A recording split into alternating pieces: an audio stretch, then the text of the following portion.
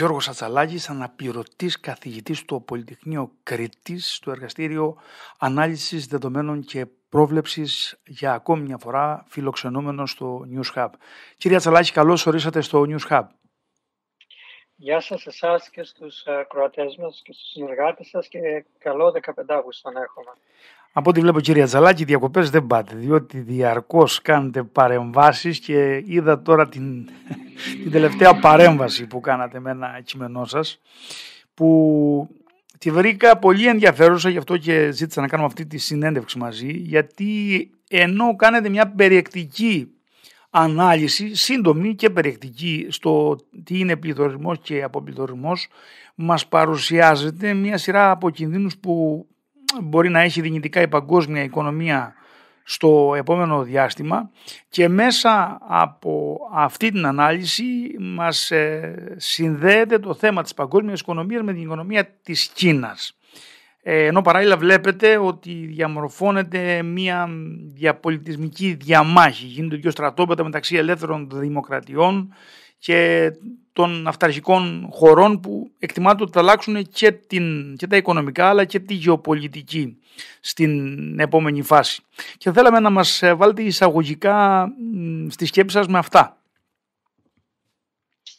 Ναι, κάποιες φορές ο ρόλος μας εμάς που κάνουμε προβλέψεις είναι λίγο άχαρος διότι πρέπει να ανακαλύψουμε μέσα από αναλύσεις δεδομένων τους κινδύνους που έρχονται και να τους βγάλουμε στην επιφάνεια αλλά αυτό μπορεί να μας σώσει από την καταστροφή και γι' αυτό οι αναλύσεις μας, οι αναλύσεις μας επικεντρώνονται να προσδιορίσουμε από νωρίς αυτούς τους κινδύνους για να μπορέσουμε να προστατευτούμε και φυσικά να αξιοποιήσουμε ό,τι ευκαιρίες εμφανίζονται.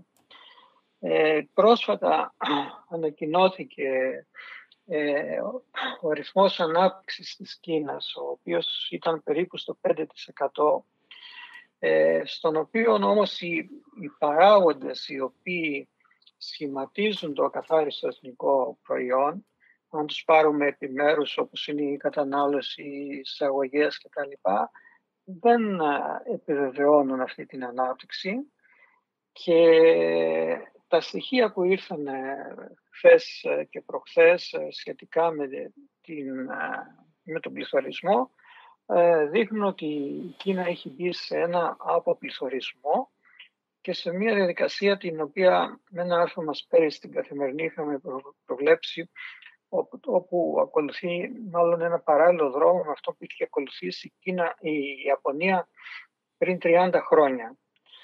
Τι σημαίνει αποπληθωρισμός; Τον αποπληθωρισμό τον ζήσαμε κι εμείς μετά το 2010 περίπου για μία δεκαετία που σημαίνει ότι οι τιμές πέφτουν διότι οι παραγόμενες ποσότητες από τα εργοστάσια είναι υπερβάλλουσες από τη ζήτηση που υπάρχει και αρχίζουν και μειώνονται οι τιμές.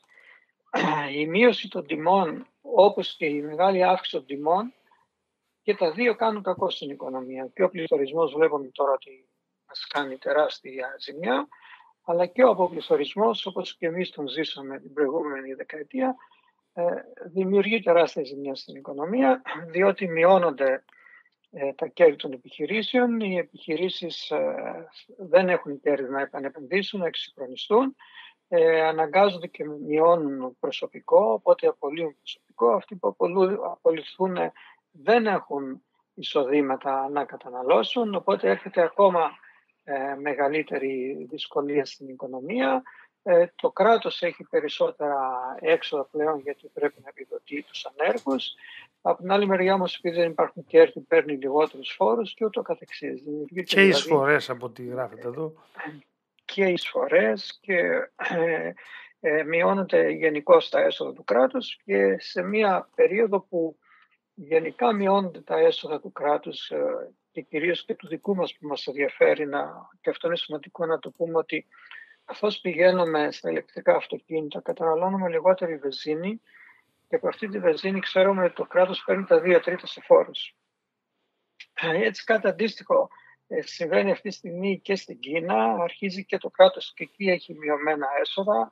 Ε, είχε την μεγάλη φούσκα των ακινήτων όπου πάνω από 50 εκατομμύρια κατοικίες δεν έχουν πουληθεί έτοιμες και δεν κατοικούνται και περίπου άλλες, άλλα τόσα εκατομμύρια ημιτελείς κατοικίες οι οποίες δεν θα τελειώσουν ποτέ. Αυτό, με, με συγχωρείτε, αυτό επειδή το είχαμε δείξει σε παλαιότερη εκπομπή, αυτά όλα, 50 εκατομμύρια κατοικίες δημιουργήθηκαν ε, χωρίς να υπάρχει ζήτηση μόνο και μόνο πούμε, για να μην πέσει ο ρυθμός ναι. ανάπτυξης. Ναι, ναι δημιουργήθηκε, αυτό ήταν το, το πρόβλημα, ότι δημιουργήθηκε ε, επειδή ένα μέρος των εσόδων των, της κυβέρνησης Κίνας προέρχεται από τις πωλήσεις κρατικών οικοπαίδων προς τις ε, εταιρείες ανάπτυξης ακινήτων. Δηλαδή όλη η γη στην Κίνα είναι του κράτους ανήκει, την πουλάει για να γίνεται ανεργέρηση οικοδομών. Και είχε φτάσει η ανέγερση οικοδομής να την προσωπεύει πάνω από το 30% της οικονομίας. Ε, οι τιμές πήγανε στα ύψη, αυτό ξεφουσκώνει τώρα και δημιουργεί μια σωρία προβλημάτων. Ε, και το σημαντικότερο όμως που εμφανίστηκε τώρα και έγινε αρκετά αισθητό από το 2020, αλλά λόγω του κορονοϊού δεν δόθηκε ιδέως σημασία, αλλά τώρα είναι πλέον αισθητό, είναι ο αποπληθωρισμός, όπου οι τιμές πλέον γενικά ε, μειώνονται. Και αυτό δυστυχώς συνέβη ακριβώς το ίδιο την περίοδο του, του 1990 στην Ιαπωνία και έτσι πέρασε και η Ιαπωνία σε αποπληθωρισμό και εδώ και 30 χρόνια δεν μπορεί να ε, αναπτυχθεί πέρα από ένα σημείο. Η κινέζικη οικονομία όμως τώρα θα επηρεάσει πάρα πολύ πολλές επιχειρήσεις οι οποίες εξάγουν προς την Κίνα. Ε, είτε αυτές είναι επιχειρήσεις ενέργειας, είτε πρώτων υλών για μεταποίηση και ούτω καθεξής. Ε, αυτές οι επιχειρήσεις σίγουρα θα χάσουν εισοδήματα και κατ' επέκταση θα έχουν οικονομικές δυσκολίες.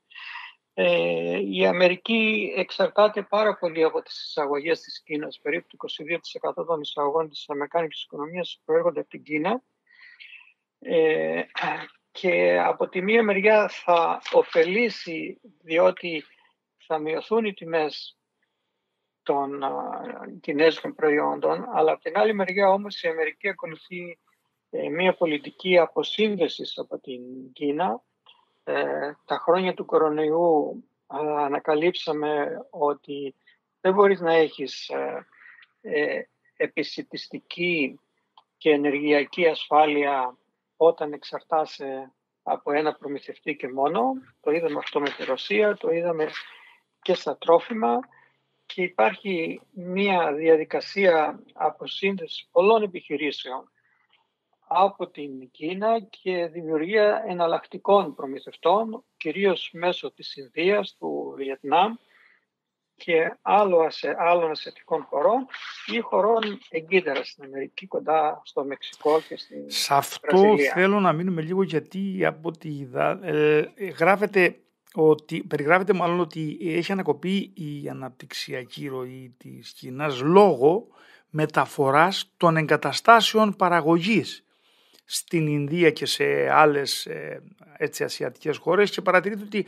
διαφοροποιείται και η αλυσίδα εφοδιασμού. Δηλαδή μεγάλες εταιρείες πλέον παίρνουν και τις εγκαταστάσεις και τις μεταφέρουν στην Ινδία και στις ασιατικές χώρες. Ναι, ακριβώς έτσι γίνεται. Ε, ε, πολλές ε, μεγάλες εταιρείες ε, φοβούμενες τυχόν κυρώσεις που θα υπάρξουν στο μέλλον αλλά και τυχόν επιπτώσεις από την ίδια την Κίνα διότι ήδη η Κίνα εδώ και δύο-τρία χρόνια αρχίζει και βάζει περιορισμούς σε κάποιες εταιρείες τι τεχνολογικά προϊόντα θα αναπτύξουν. Ε, επίσης και σε κάποιες κινέζικες εταιρείες είδαμε κάποιον ηγέτη που χάθηκε για αρκετούς μήνες και όπου τελικά ξαναεμφανίστηκε. Ε, βλέπουμε μια κατάσταση η οποία ε, δείχνει μια, θα το λέγαμε, καταστολή ορισμένων δραστηριοτήτων προς τις επιχειρήσεις που ε, έχουν έρθει από το εξωτερικό και δραστηριοποιούνται στην Κίνα. Και αυτό ανησυχεί τις επιχειρήσεις ε, ανησυχεί το χρηματιστήριο, γι' αυτό και πέφτουν τα χρηματιστήρια της Κίνας. Ε, ανησυχούν για, το, για τυχόν συνέπειες που μπορεί να έχει αυτή η διαπολιτισμική διαμάχη πλέον όλο ένα γίνεται πιο φανερή. Οπότε αυτές οι εταιρείες προσπαθούν να δημιουργήσουν και εναλλακτικούς προμηθευτές. Μην τυχόν και συμβεί αυτό που συνέβη την περίοδο του κορονοϊού ή μην τυχόν και συμβεί αυτό που συνέβη με τη Ρωσία ε, στην ε, περίπτωση που είναι αποφεκτέ αλλά ενδέχεται όμως να δημιουργηθεί κάποια σύγκρουση με την Ταϊβάν και την ε, Δύση η οποία η Ταϊβάν θα καλέσει τη Δύση προς βοήθεια σε περίπτωση που συμβεί κάτι εκεί μεταξύ Κίνας και Ταϊβάν. Ε, οπότε κυρίαρχο πλέον είναι από πλευράς των κρατών η επιστηστική και ενεργειακή ασφάλεια και η επάρκεια σε στρατηγική σημασία υλικά και, ε, και υπηρεσίες όπως είναι η κυβερνοασφάλεια ή όπως είναι σπάνιες γιές, τα τσίπ και όλες εκείνες οι Που μέχρι, μέχρι πρώτη όμως ε, στις σπάνιες γιές, επειδή έχουμε ξανακουβεδιάσει, η Κίνα είχε το πάνω χέρι, έτσι, ήλεγχε κατά μεγάλο ποσοστό την παραγωγή των σπάνιων γεών. Οι σπάνιες γιές έχει σημασία να πούμε ότι δεν υπάρχουν κάπου και ψάχνουν και τους βρίσκουμε. Απλά κάνοντας εξορίξεις άλλων μεταλλευμάτων, βρίσκονται εκεί μέσα και πρέπει να τις, να τις κάνουμε μια ειδική επεξεργασία και εκεί να έχει αναπτύξει καταστάσεις που κάνουν αυτή την ειδική επεξεργασία και ξεχωρίζουν αυτά τα πολύτιμα υλικά αλλά δεν είναι σε μια συγκεκριμένη πηγή όπως είναι ο βοξίτης, πάμε και ξορύφουμε βοξίτη. Είναι ανακατεμένα με πολλά άλλα υλικά. Αλλά έχει όμως την τεχνογνωσία και επειδή οι μπαταρίες είναι βασικό συστατικό έχουν αυτές τις ε, υγιές και επειδή η αύξηση της ζήτηση για μπαταρίες όταν δεν υπάρχουν αυτά τα υλικά αυξάνει την τιμή τους και επειδή οι μπαταρίες χρειάζονται για την πράσινη μετάβαση ε, δυστυχώς μας δίνουν την, ε, ένα πολύ ακριβό μείγμα ρεύματος το οποίο έχουμε πει και σε προηγούμενη εκπομπή σας ότι δεν είναι ό,τι καλύτερο για τα νοικοκυριά και τις επιχειρήσεις. Αυτή όμως η, η αποσύνδεση αρκετών επιχειρήσεων από την Κίνα θα της δημιουργήσει ένα σημαντικό πρόβλημα γιατί θα χάσει αρκετά εισοδήματα και σε συνδυασμό με τα χρέη που έχουν αναπτυχθεί εντός της Κίνας από την ε, φούσκα των ακινήτων αλλά και τα χρέη τα οποία έχουν δημιουργηθεί από τα δάνεια που έχει δώσει η Κίνα κατά μήκος των δρόμων του μεταξιού για να δημιουργήσουν έργα υποδομής σε πολλές χώρες της ε, Κεντρικής Ασίας, Νότιας Ασίας, στην Αφρική, στην Λατινική Αμερική, Νότιο Αμερική κτλ. Ε, πολλά από αυτά τα έδρα ήταν φαραωνικών διαστάσεων, αμφίβολης βιωσιμότητας, χαμηλής παραγωγικότητας ε, και αυτά τα δάνεια δυστυχώς δεν μπορούν να τα πληρώσουν πίσω αυτές οι χώρες με αποτέλεσμα να αντιμετωπίζει μεγάλες απώλειες από αυτά τα χρέη η Κίνα και δυστυχώς κάνει και ένα λάθος στρατηγικής όπου έρχεται να διασώζει κάποιες από τις χώρες αυτές ε, όπως κάνει το Διεθνές Νομισματικό Ταμείο αλλά χωρίς να βάζει όρους να κλείσει η μαύρη τρύπα να μην χρειάζονται άλλα λεφτά. Χωρίς εξορθολογισμό δηλαδή των οικονομιών. Ναι, ακριβώς. Ε, Χωρίς εξορθολογισμό των οικονομιών να μειώσουν τις, τα δημοσιονομικά τους ελλείμματα, απλά τους δίνουν και άλλα λεφτά και το μόνο που γίνεται μεγαλώνει τα ελλείμματά τους. Ε, θέλω να κλείσουμε με άλλο ένα στρατηγικό πλεονέκτημα που φαίνεται να χάνει η Κίνα, που το έχετε εντοπίσει και στο παρελθόν, αλλά τώρα και στο, στο άρθρο το πρόσφατο, που εντοπίζεται ότι έχουν μείνει πίσω ε, στο θέμα των νέων τεχνολογιών και της τεχνητής νοημοσύνης ενώ ε, όλα τα κράτη τα προηγμένα δίνουν πολύ μεγάλο βάρος εκεί και αυτή η διαφορά θα φανεί στο μέλλον. Πού βρισκόμαστε σε αυτό το σημείο; Ναι, το ποιος θα γίνει πρωτοπόρος στις νέες τεχνολογίες, κυρίως της ε, τεχνητής νοημοσύνης και της τρισδιάστατης εκτύπωσης, αλλά και στη κβαντική υπολογιστή, στη βιοτεχνολογία και στις νέες τεχνολογίες υλικών, νέα τεχνικά υλικά, ε, θα έχει πάρα πολύ μεγάλη σημασία στο μέλλον, ε, διότι αυτοί, αυτές οι χώρες που θα καταφέρουν να γίνουν πρωτοπόρες θα είναι και αυτές που θα χαράζουν τις επόμενες στρατηγικές στον κόσμο. σε αυτό τον ανταγωνισμό γίνονται μεγάλες προσπάθειες στο διάστημα αλλά και στην ανέβρεση των πολύτιμων υλικών των σπάνιων γεών και προς το παρόν σε κάποιους τομείς έχει πρωτοπορία ε, η Αμερική και σε κάποιους, κυρίως στη μικροηλεκτρονική, έχει αρκετή πρωτοπορία και πρόοδο και η Κίνα. Ε, στην κατασκευή τώρα των chip που χρειάζονται οι περιπολογιστές και ίσως αργότερα χρειαστούν και κουβαντικοί υπολογιστές, ε, εκεί υπολείπεται η Κίνα και προσπαθεί να εξαγοράζει ανά τον κόσμο επιχειρήσεις υψηλής τεχνολογίας ε, όσο πανάκριβες και να είναι αυτές για να αποκτήσει τεχνολογία.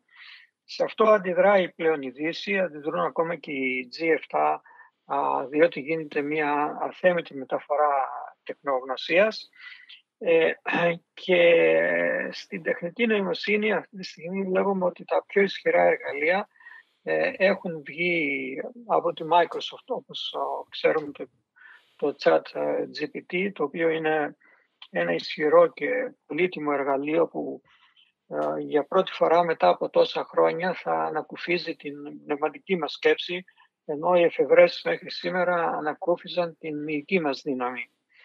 Οπότε θα έχουμε ένα εργαλείο το οποίο θα μας παρέχει άφθονη γνώση όποτε τη θέλουμε και ε, ανεξάντλητη γνώση γιατί καθώς θα περνάει ο χρόνος θα ενσωματώνει όλο ένα και περισσότερη γνώση. Ε, οπότε έχουμε μια σειρά προβλημάτων οι οποίες σε συνδυασμό με, την, ε, με τις φυσικές καταστροφές που συμβαίνουν πλέον και τις βλέπουμε πολύ συχνά και με το συνδυασμό ότι δεν έχουν πλέον μια φθηνή πηγή ενέργειας ε, αυτά τα φαινόμενα δημιουργούν πολλά προβλήματα στις οικονομίες και αρχίζουν να ξεδιαλύνεται και να γίνεται πιο καθαρός ένας διαπολιτισμικός ε, ανταγωνισμός μεταξύ των δημοκρατικών χωρών και των χωρών που έχουν πολιταρχικά καθεστώτα. Και αυτός ο, ο ανταγωνισμός ε, παίρνει διαστάσεις ε, πάνω και κάτω από το τραπέζι με κυβερνοεπιθέσεις, με ε, πολλές φορές ε, αθέμητες πρακτικές κτλ. Δηλαδή υπάρχουν να σκεφτεί ότι υπάρχουν ασιατικές χώρες οι οποίες αν κάποιος ε, φύγει από μια σημαντική θέση ευθύνης από μια μεγάλη εταιρεία και πάρει μαζί του κάποιο μυστικό, του δίνουν απίστευτα κεφάλαια να το αναπτύξει, να το κάνει copy-paste, να το χακάρει, πώς, πώς θέλουμε να το πούμε, ουσιαστικά να το αντιγράψει και να κάνει μια τέτοια επιχείρηση στη χώρα τους. Δηλαδή υπάρχουν επίσημα κυβερνητικά προγράμματα ε, που χρησιμοποιούν τέτοιες αθέμητες πρακτικές. αυτό, αυτή, αυτή η διαμάχη θα συνεχιστεί, θα τη βλέπουμε όλο ένα και εντονότερη και μας αφορά πάρα πολύ διότι συμβαίνει και δίπλα στην Τουρκία και είναι κάτι που μας αφορά και εμάς. Ο τελευταίος ε, συλλογισμός που κάνατε, ο τελευταίος συνδυασμός μάλλον που είχε να κάνει με την ενέργεια και με τις φυσικές καταστροφές και όλα όσα συζητήσαμε κάνει την εξής περίπλοκη. Εν πάση περιπτώσει, θα είμαστε εδώ να τα κουβεντιάζουμε συχνά. Ε, κύριε Τσαλάκη, θα ήθελα να σα ευχαριστήσω θερμά για την παρουσία σας εδώ στο News Hub. Γεια σας. Και εμείς σας ευχαριστούμε πολύ.